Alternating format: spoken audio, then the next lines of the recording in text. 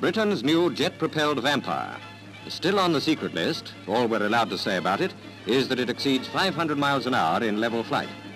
Test pilot Geoffrey de Havilland puts it through its paces. Confidently claimed to be the world's fastest aircraft, the Vampire interceptor fighter staggered Londoners when it took part in the Thanksgiving Day fly past over Hyde Park. They were amazed, and with this performance, no wonder.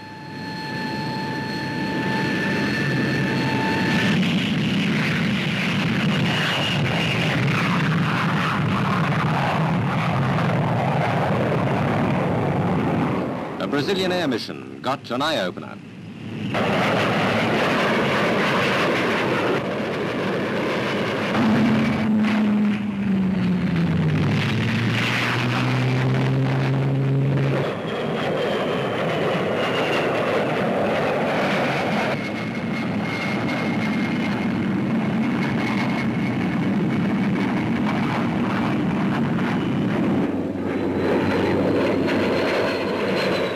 Only a few inches bigger than the Spitfire, the Vampire can be pressurized to fly 50,000 feet up.